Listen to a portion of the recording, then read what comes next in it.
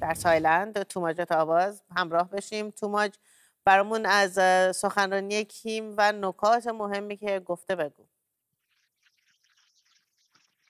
آزاده اسم سخنرانی بوده. بیایید برای رفاه کشور عزیزمان تلاش بیشتری بکنیم که خب طبق معمول معمولا این جمله بندی ها متعلق هستند به کره شمالی. این اظهارات در در واقع روز دوشنبه به مناسبت 76 امین سالگرد برپایی حکومت کره شمالی بیان شده در جمع مقامات ارشد حکومتی منتها خبرگزاری رسمی کره شمالی باز هم به مانند همیشه اون رو چند ساعت پیش منتشر کرده. یعنی بعد از اینکه البته اجازه رسمی برای انتشار اون صادر شده.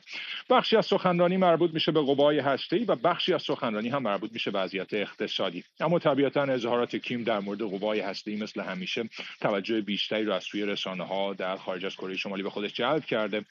آقای کیم گفته که اقدامات تحت رهبری ایالات متحده برای گسترش یک بلوک نظامی در منطقه بسا شرق آسیا یک تهدید جدی برای کره شمالی هست و نیاز به تقویت قوای هسته‌ای کره شمالی را افزایش داده. نتیجه قطعی اینه که به گفته آقای کیم نیروی اتمی و ظرفیت های استفاده از اون باید کمال بیشتری پیدا کنند یا بهبود بیشتری پیدا بکنند.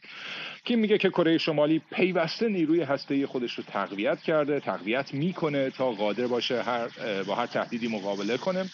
و در ضمن میگه که تلاش برای آمادگی رزمی تمام نیروهای نظامی یعنی ظرفیت های رزمی تمام نیروهای نظامی از جمله نیروهای هسته‌ای باید دو چندان بشه. کیم جانگون در ضمن تاکید کرده که سیاست جاری برای افزایش تصاعدی شمار ادوات هسته‌ای شمار یا تعداد جنگ افزارهای هسته‌ای هم ادامه پیدا خواهد کرد. در بخشی از سخنرانیش در ضمن گفته کره شمالی تهدیدی برای کشورهای دیگه نیست و هدفش از افزایش قوای هسته‌ایش در واقع دفاعیه و پیانگنگ یه قدرت هسته‌ای مسئولیت پذیره به گفته رهبر حکومت کره شمالی. بخشی از سخنرانی هم در مورد وضعیت اقتصادی بود. همونطوری گفتم در مجموع ابراز خورسندی کرده از وضعیت و شرایط اقتصادی کره شمالی با اینکه می‌دونیم سازمان های بین المللی از جمله سازمان ملل در مورد قحطی و همینطور تبعات سیل اخیر در اون کشور شدیداً هشدار دادن. با این حال آقای کیم گفته که وضع تولید و گسترش کارخانه ها تو اکثر شهرها و شهرستان های کشور برای ایشون رضایت آور بوده. اما کدوم بخش از اظهارات کیم مورد توجه بوده؟ طبیعتا بخش مربوط به در واقع تسلیحات و ادوات جنگ افزارهای هسته‌ای.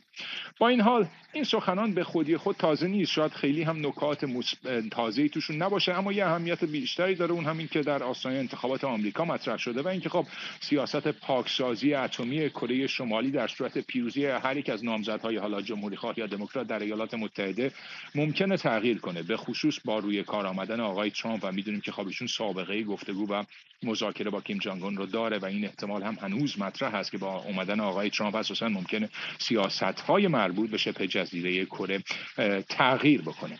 در اصل سپتامبر سال پیش کره شمالی شرحی به قانون اساسی اضافه کرده بود که میگه قدرت هسته‌ای این کشور یه اصل دائمه و هیچ کس نباید اون رو زیر پا بذاره. همینطور تسلیحات اتمی غیر قابل بازگشت هست و افزایش تصاعدی اونها هم باز یک قانون تلقی میشه.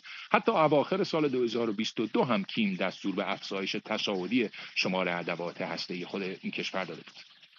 ممنونم توماش. همکارم توماش تاپاز در تایلند.